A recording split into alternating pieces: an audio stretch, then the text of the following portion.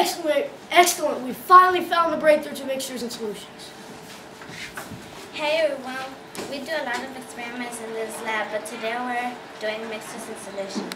We'll be using a beaker, salt, water, BBs, sand, test tubes, funnel, and a hot plate. We'll be test tube, we'll be pouring some salt. Water.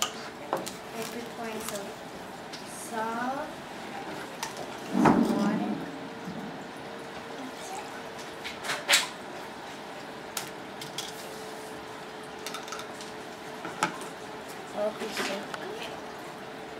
We'll be shaking. Now you can see this salt has dissolved into the water. You can't see the salt, but it's still there. It's matter broke up into pieces too small to see.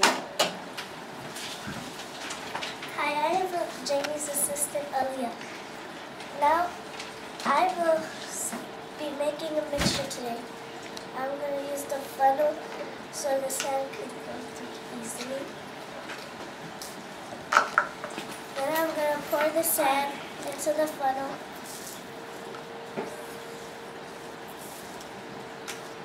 After the sand, I will pour the beans.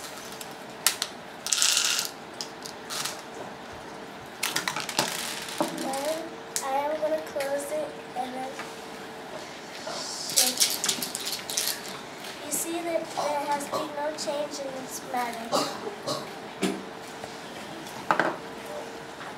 Now, Let's see what Selim is doing. Hey, you have seen the mix, our mixtures and solutions today. Now it's time to separate them. Aaron, if you can help me. First, we'll be using a magnet to separate the BBs in the sand. The magnetic pull will separate the BBs from the sand and leave the, and leave the sand to be. As you can see, the magnetic pull has got the BBs out of the sand. And so if you could pour those back in the cup. Now it's time to separate the salt and the water. We'll pour it into the beaker. Turn it on high. And